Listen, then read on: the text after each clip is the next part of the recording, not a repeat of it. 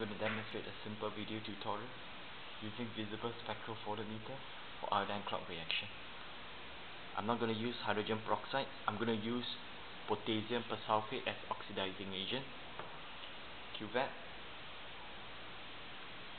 add starch, 50 microliter, sodium thiosulfate, 50 microliter. Next, add potassium iodide.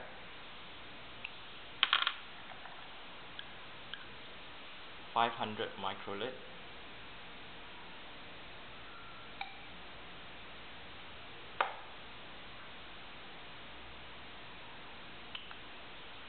And what I'm going to do now is I'm going to place it inside the visible spectral photometer and next I'm going to add oxidizing agent which is potassium persulfate 500 microliter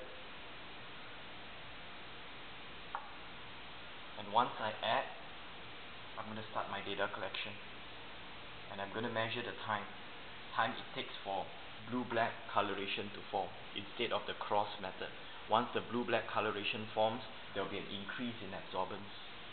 So I'm going to take the time. Add and start my data collection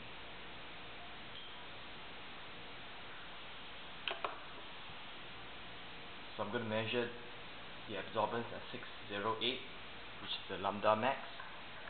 And once blue black coloration form there will be increase in absorbance.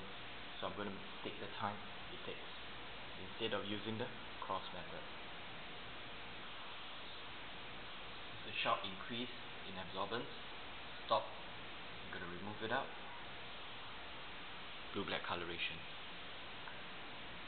instead of the cross method can use visible spectrophotometer for iodine clock reaction but this method is not as accurate compared to hydrogen peroxide because the formation of blue black coloration is very slow so a better way is using oxidizing agent which is hydrogen peroxide instead of potassium persulfate. Thank you.